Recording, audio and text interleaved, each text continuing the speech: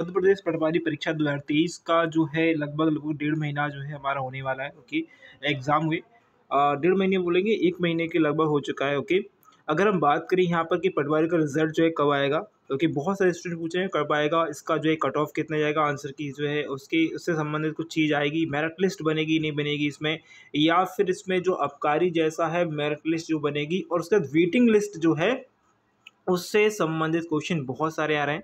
Okay, क्योंकि आप ये जो अबकारी का रिज़ल्ट आया, उसमें वेटिंग लिस्ट जो है, अगर देखिए, एक चार सौ बासठ उसमें पोस्ट हैं मात्र, और यहाँ पर वेटिंग जो दी गई है, वो आपको पंद्रह पंद्रह हज़ार तक वेटिंग गई है। मतलब पंद्रह हज़ार नहीं, मैंने देखा है कि एक व्यक्ति के जो है, अठारह हज़ार भी वेटिंग है, ओके? यानी कि पहले बोला गया था दस हज़ार के समथिंग जो स्टूडेंट होंगे, जो उनको इसके लिए बुलाया जाएगा नाप तोल के लिए, ओके?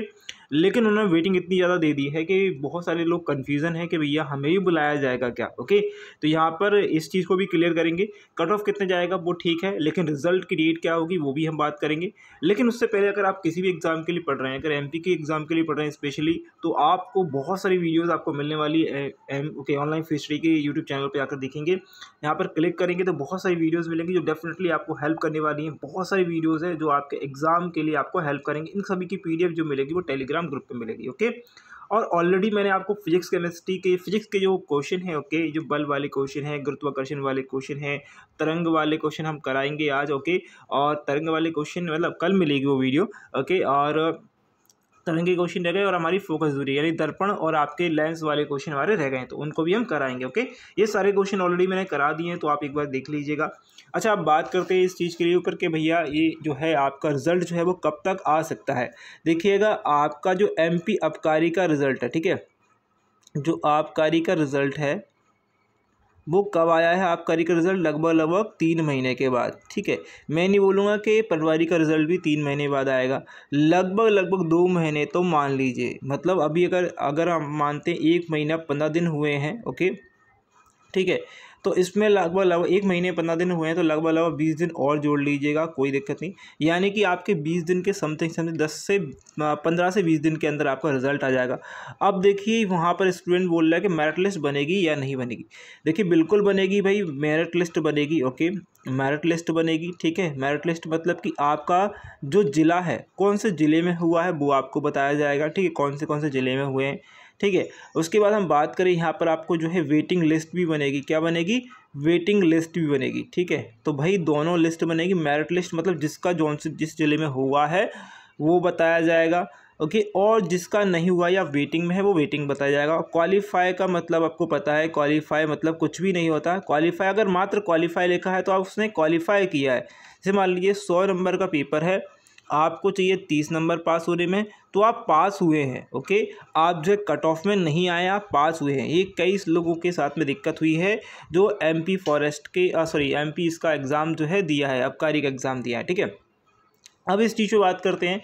कि कट ऑफ़ कितना जाएगा। देखिए बहुत सारे स्टूडेंट कन्फ्यूज़न होते हैं कि कट ऑफ़ ज़्यादा जाएगा कम जाएगा। देखिए भाई कट ऑफ़ कम कम कैसे जाएगा? आप सो आप लोग सोचते हैं बहुत सारे लोग बाग बता देते हैं आपको कि इतना इतना कट ऑफ़ जाएगा कि आपका जो कट ऑफ़ है कि अनरिजर्व कैटेगरी कई लोगों ने बताया मैंने देखा है कई लोगों ने अनरिजर्व कैटेगरी का जो कट ऑफ़ है वो 110 या 120 बताया है। भाई 110 120 कैसे जाएगा? आपने देखा है कि अभी जो है आ, अन, आपका अबकारी का जो रिज़ल्ट है अबकारी का रिज़ल्ट है अनरिजर्व कैटेगरी का जो है वो 85 के समथिंग या 84 के समथिंग जो है गया है। ओके okay, समझते हो? यानी कि अगर 200 की अगर वो 200 नंबर का पेपर होता तो उसके 170 नंबर आते उस बच्ची के 170 नंबर आते समझ रहे हो? तो यहाँ से यहाँ तक देख रहे हो कितना डिफरेंस है? तो आप सोच रहे हो और अबकारी का पेपर एमपी पटवारी से बहुत ज़्यादा टफ आया था। मैं इसलिए बोलता हमेशा कि इसका जो कट ऑफ़ है लगभग एक सौ पैंतालीस से लेकर एक सौ पचास के जो है बीच में ही जाएगा ओके जो एम पी पटवारी का है।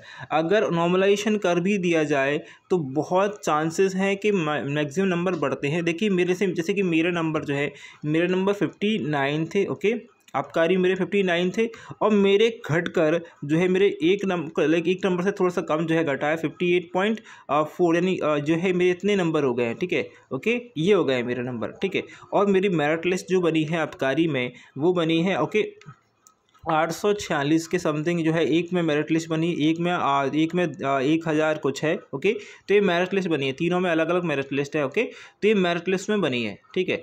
तो अब देखिएगा इसी प्रकार से आपकी मेरिट लिस्ट बनेगी ठीक है? लेकिन वो मेरिट लिस्ट कैसी बनेगी? वो आपके ज़िले के हिसाब से ओके कौन से ज़िले में हुआ है ओके यहाँ पर पोस्ट है ही वहाँ पर ज़िला होगा बस इतना सा होगा ठीक है? अगर ओबीसी में बात करें यहाँ पर अगर ओबीसी की बात कर लेते भाई ओबीसी में कितना रहेगा? ओबीसी में आराम से आप लगा लीजिएगा, एक सौ अड़तीस से लेकर एक सौ बयालीस के समथिंग आपका कट ऑफ़ रह सकता है ओके यहाँ पर अगर बात करें, यहाँ पर आप दो से तीन नंबर प्लस कर सकते हैं जो आपके नॉर्मलाइजेशन के बाद में नॉर्मलाइजेशन का बात इसलिए कर लीजिएगा, और यहाँ पर तीन से चार नंबर प्लस कर सकते हैं, कोई दिक्कत नहीं अगर हम बात करें एससी कैटेगरी की तो एससी कैटेगरी का जो कट ऑफ़ रहेगा, वो आराम से आपका एक सौ तीस के समथिंग रहेगा ओके एक सौ तीस से एक सौ आपका पैंतीस के समथिंग जो है कट ऑफ़ जा सकता है। यहाँ पर भी एक तीन से चार या नंबर आप प्लस करके रख सकते हैं आपका जो है नॉर्मलाइजेशन के बाद में ओके एस टी कैटेगरी की बात करें यहाँ पर एस टी कैटेगरी का जो आ, जो रह सकता है वो रह सकता है 125 से 130 के समथिंग ओके ये हाईएस्ट कट ऑफ़ रहेगा याद रखेंगे। भाई कम कट ऑफ़ नहीं जाएगा। आप लोग सोच रहे हो हाँ, कम कट ऑफ़ जाएगा। भाई कम कट ऑफ़ बहुत कम जाए आप देखिए ऐसा नहीं है कि एम पी पटवारी का पेपर जो है टफ़ नहीं आया। आया है भाई बहुत सारे जो है कई बार टफ़ पेपर भी आया है।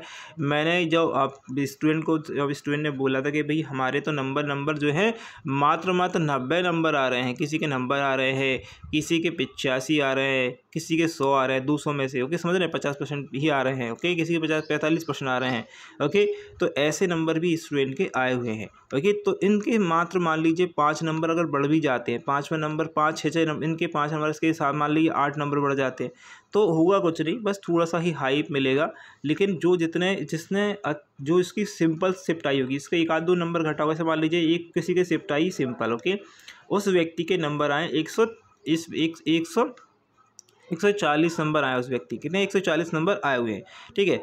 और उसकी सिंपल शिफ्ट आई थी, उसके कितने नंबर घट जाएँगे? पाँच नंबर घट जाएँगे, एक सौ पैंतीस हो जाएँगे। उसका फिर भी सिलेक्शन हो जाएगा ओके फिर भी सिलेक्शन अगर हम देखें, एक चीज़ देखें तो ओबीसी में हो जाएगा, ठीक है? लगभग लगभग ओबीसी और एससी में हो ही जाएगा। अगर वो ओबीसी और एससी में है तो उसका सिलेक्शन लगभग इसमें हो जाएगा, ठीक है? तो आप ये चीज़ देख सकते हैं, ठीक है?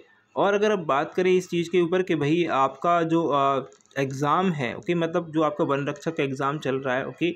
उसका एनालिसिस मैं ऑलरेडी करा ही रहा हूँ आप लोगों के लिए। आप लोगों से रिक्वेस्ट रहता है कि जितनी मैं वीडियो बनाता हूँ, वो इंपॉर्टेंट है कि अभी ये वाली वीडियो से इन्फो की गई है इसलिए इन्फॉर्मेशन के लिए, क्योंकि क्या है इन्फॉर्मेशन मैं इसलिए देते रहता हूँ, देखिए कि होता क्या है? बहुत सारे स्टूडेंट ऐसे हैं जो सिर्फ़ और सिर्फ़ ऐसी वीडियो देखते हैं। मैं उनसे कहूँगा, ऐसी वीडियो मत देखिए। कम ही देखिए, बहुत कम देखिए। आपको ज़रूरत पड़ रही है, आप टाइम आपको लग रहा है कि यार दो चार मिनट जो है हम पढ़ने के अलावा जो है थोड़ा सा हम देख लेते हैं तो आप इस वीडियो को देख सकते हैं। लेकिन अन्यथा मैं आपको यही सलाह दूँगा कि ऐसी वीडियो के अलावा आप जो है, मैं जो वीडियो बना रहा हूँ, जो इन्फॉर्म जो आपके पढ़ने के लायक वीडियो हैं, उनको ज़रूर देखेंगे। इन सभी की पी आपको टेलीग्राम ग्रुप पर भी मिल जाती है। बाकी आपको बढ़ना नहीं है, आपको टेलीग्राम से जाकर डायरेक्ट जो है, आपके न्यूमेरिकल से मैंने ये कराया है। आपको मैंने कल रात को जो है, चार से पाँच पी डाली हैं ओके उन चार से पाँच पी को लगाने की कोशिश करिए। आपको आंसर आ रहा है, बहुत अच्छी बात है, नहीं आ रहा है, वीडियो देख लीजिएगा। ठीक है? वीडियो के नीचे लिंक भी डली हुई है पीडीएफ के नीचे, वहाँ पर जाकर एक बार चेकआउट कर लीजिएगा, ठीक है? तो ये आई थिंक आपको इन्फॉर्मेशन जो है समझ में आई होगी। अगर वीडियो अच्छी लगी इन्फॉर्मेशन समझ में आई है तो लाइक शेयर कर दीजिएगा। और एक और हाँ एक चीज़ और लाइक शेयर से पहले कि भैया अभी जो है एक चीज़ और आ रही है, ठीक है? एमपी पुलिस के एमपी पुलिस भी आने वाला है लगभग दो महीने से, दो महीने या तीन महीने में जो है आपको एमपी पुलिस का पेपर भी देखने के लिए मिल जाएगा। ठीक है नोटिफिकेशन लगभग लगभग अगले महीने में आ जाएगा आपके लिए ओके तो आपको एजेंसी जो है वो ढूंढनी जा रही है। एक महीने लगभग मतलब एक्चुअल में उसका जो है, अगर हम बात करें, जो नोटिस वगैरह जो है वो नहीं आया, लेकिन टेंडर जो है वो निकाल दिया गया ओके तो जो भी टेंडर निकाला गया, जो भी कंपनी जो होगी एजेंसी होगी, जो अप्लाई करेगी मतलब इसको मतलब करेगी एमपी पुलिस की ओर से एग्ज़ाम किया जाएगा। आपको लगभग लगभग दो महीने के बाद में एग्ज़ाम देखने के लिए मिल जाएगा कि कब एग्ज़ाम होगा। ओके एक महीने में आपको नोटिफिकेशन मिल जाएगा कितनी वैकेंसी है, कहाँ पर वैकेंसी है कांस्टेबल और एसआई दोनों की भर्तियाँ होने वाली हैं, ठीक है?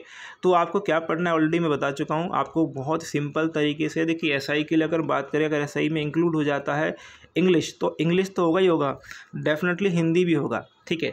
तो कांस्टेबल एसआई में हिंदी, इंग्लिश दोनों ही होगा जी के जी एस होगा। तो जो हम फॉरेस्ट के लिए पढ़ रहे हैं, वही पढ़ रहे हैं, उसके अलावा नहीं पढ़ने बाकी एक रीजनिंग जो है हमारा, वो जुड़ जाएगा ओके रीजनिंग आपके फॉरेस्ट एम फॉरेस्ट डिपार्टमेंट और इसमें नहीं है, आपका जेल प्रेरी में। तो कोई दिक्कत नहीं है रीजनिंग आप बाद में पढ़ लीजिएगा, लेकिन अभी जो सब्जेक्ट हम पढ़ रहे हैं एम फॉरेस्ट के लिए, वो पढ़ते रहिएगा ओके वीडियो को लाइक, शेयर कर दीजिएगा। अगर वीडियो पसंद आई है, वीडियो को शेयर कर दीजिएगा अपने दोस्तों में। और अगर नहीं कर पा रहे, कोई दिक्कत नहीं, मैं आपसे यही बोलूँगा कि भैया, जो पढ़ने वाली वीडियो, उनको ज़रूर देखिएगा, उनको ज़रूर शेयर कर दीजिएगा, ओके? तो thank you friend watching this video. बस आपके एग्ज़ाम के लिए, आपके रिज़ल्ट के लिए धन्यवाद।